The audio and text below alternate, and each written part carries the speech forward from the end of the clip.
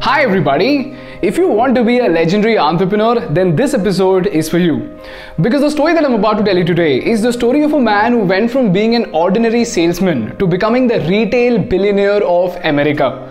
This is the story of a man who started his business with a small loan from his father in law and built so much wealth out of it that today his family is worth $215 billion. This iconic businessman that I'm talking about was none other than Mr. Samuel Moore Walton, and the company that he started is what we know today as the retail giant Walmart.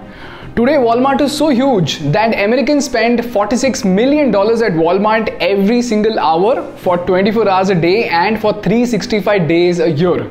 They employ about 2.2 million people, and in 2021 alone, Walmart generated a profit of $1.5 million every single hour. The question is, what was so special about Sam Walton that he was able to build such a humongous business empire? And most importantly, as aspiring entrepreneurs, what are the lessons that we need to learn from this legendary businessman? This is a story that dates back to late 1940s America when World War II had just ended and just like any other post-war situation, the economy was bad and the Walton family, just like many other people, was struggling to make ends meet in a recovering economy. And since his family was not well off, Walton all throughout his teenage and early 20s had to work at multiple jobs just to pay for school and college. He sold newspapers, worked at retail stores and even waited tables. And because of the nature of his job, he had to interact with a lot of people from diverse backgrounds. And through those conversations, Sam Walton was able to understand the operations of several businesses operating in the market. In fact, while he was working at a retail store, he even used to go the extra mile and study the rest of the competition, although it was never a part of his job. But this ability of his to go the extra mile helped him understand the retail market. And when he gained enough confidence, he saved up some money, borrowed some from his father in law, and took up a franchise of a retail chain called Ben Franklin. And this is where his retail journey began. Now, people, just like any other franchise model, even with Ben Franklin, although he had the liberty to use the brand name, they came with a lot of restrictions. He had to buy 80% of the products from Ben Franklin, otherwise, he wouldn't get a rebate. He had to spend a certain amount of money in advertising, and he even had to hire a certain amount of people. And all of this gave him only 6 to 7% profit with a revenue of only $72,000. But right in front of him was his competitor who was generating a revenue of $150,000 a year. And this ignited a fire in his belly, because of which, from the next day onwards, he started visiting every single store in town and spent hours at his competitors' stores. In fact, a few store owners even used to get creeped out because Walton was acting as if he was trying to dissect their business and he's trying to steal some business secrets or something. And in this tedious process of examining the competitors and studying the retail market, Sam Walton learned three very important things that helped him become the richest man in America. The first thing that he learned was the power of something called discounting, which is a technique of selling products at a lower margin in order to maximize the volume sales. For example, if 100 t-shirts are sold for $3 each with a profit of $1, then the total profit is about $100. But if the same t-shirt is sold at $2.5, although the profit is only 50 cents, the volume of sales used to shoot up to 200 t-shirts. Now, although this might sound like the same $100 profit, it had some incredible benefits that very few people realized. The first benefit was that discounting resulted into more volume in sales, which meant more people brought products at the store and hence resulting into more footfall, which means more visitors.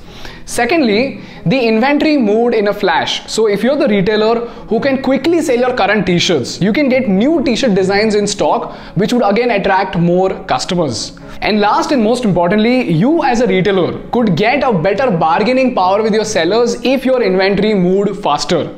For example, if the other players buy about 10,000 units, you could buy 20,000 units because of your accelerated sales volume. And using this bigger purchase order, you could ask the seller to reduce the price by another 10%, which could give you 10% extra profit even with the best prices. Now, for a small store, that's only 10% increase in margin along with discount for customers. But when Walmart scaled up using the same principle, they became so powerful that they started dominating the sellers. For example, in the present day, if the wholesaler sells 20,000 units to a small retailer for $5 with $2 profit, Walmart will place an order for 2 million units and will ask the seller to sell it at $3.5. And because it's such a huge purchase order, it gives the seller more profit, so they usually agree. Now, when the normal retailer price their $5 purchase at $7, Walmart puts a price tag of only $4.9, which means what?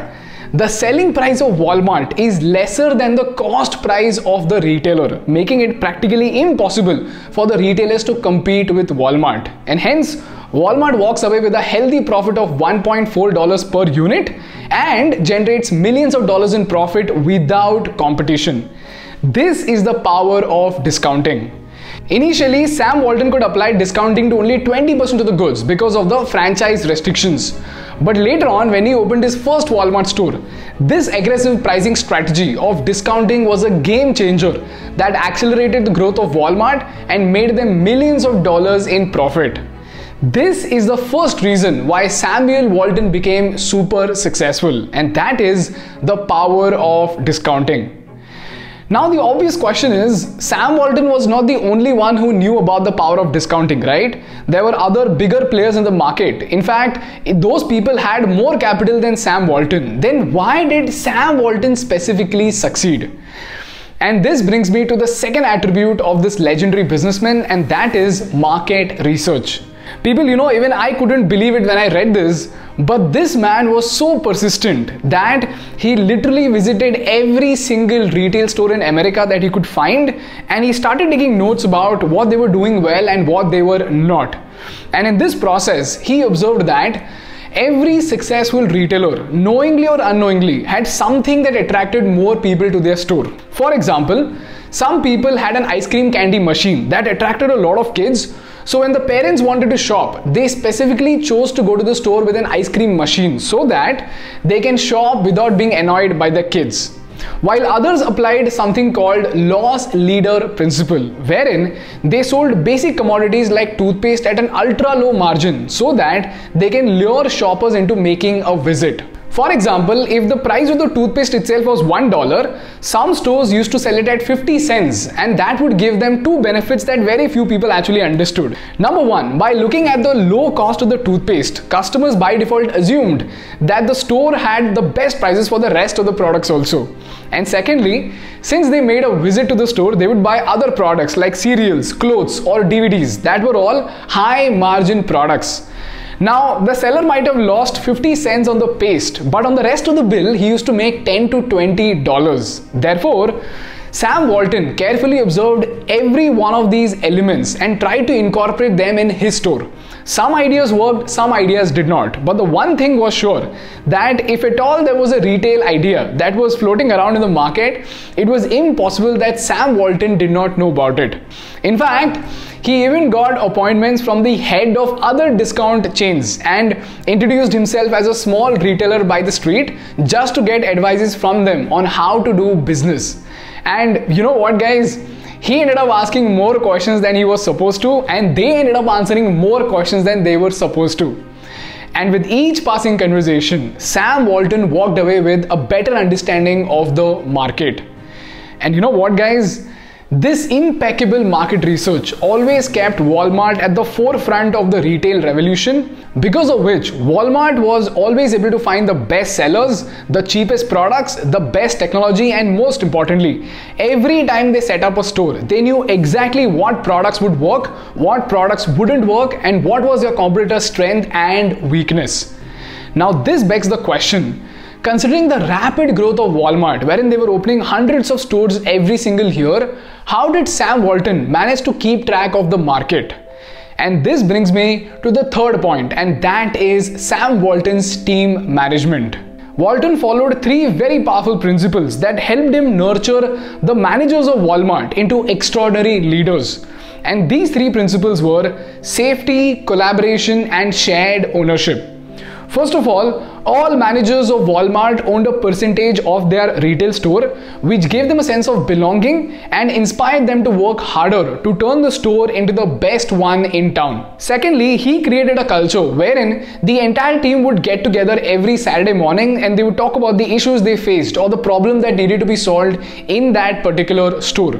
And no matter how small or big the problem was, Sam Walton insisted upon solving the problem together as a team without playing the blame game. And last and most importantly, while most retailers had strict rules about what a store manager can do and what a store manager cannot do, Sam Walton gave his store managers to experiment with different products and different marketing strategies so that they can keep understanding the market better. And even if they failed, they were not at all punished. In fact, they were encouraged to do better after introspection because he believed that rigid protocols would stifle innovation and in order to keep pace with the fast-paced retail industry it was important that everybody kept experimenting and everybody acquired a deeper understanding of the market and the result? Well, store managers came out with game changing ideas like new store designs, better seller suggestions, and one of their managers named Phil Green was so passionate and inspired to experiment that he once bought the largest display of Tide ever and bought 3500 giant boxes of Tide just to compete with another giant called Kmart. And the stock that he bought was so large in quantity that it occupied an entire section even after being stacked up all the way up to the roof. Now, most people would get fired for making such a big and risky purchase decision. But at Walmart, he did not have to fear. Guess what? Phil sold out all of those boxes within a week, and suddenly Walmart became the new favorite in town as compared to Kmart. This was the revolutionary culture that Sam Walton cultivated in Walmart that turned his managers from just managers into ambassadors of the business and risk taking owners, eventually turning Walmart into one of the most powerful companies in America with 2.2 million employees and a revenue of $559 billion today. Now, people, the lessons from this case study are pretty obvious from the narrative itself. So, for this episode, I want to go one step further and I want to give you certain pointers so that you can ponder over in order to cultivate a deeper understanding of this case study. So, here's pointer number one. Have you ever wondered, just like Sam Walton studied retail chains, even Jeff Bezos must have done some great market research, right? The question is, what did he do so well that he was able to compete with a giant like Walmart? And when Amazon was a baby, how did Amazon manage to survive in spite of Walmart being so competitive and so aggressive? Secondly, if you want to understand the principles of great leadership or if you want to know how to build and operate a great team, I would highly recommend you to read this book called Culture Code. And last and most importantly, if you want to read further about the modern day Walmart or if you want to know better about Sam Walton and his business principles, I would highly recommend you to read this book called The Walmart Effect and Sam Walton Made in America. That's all from my side for today guys. If you learned something valuable, please make sure to hit the like button in order to make YouTube Baba happy. And for more such insightful business and political case studies, please subscribe to our channel. Thank you so much for watching. I will see you in the next one. Bye bye.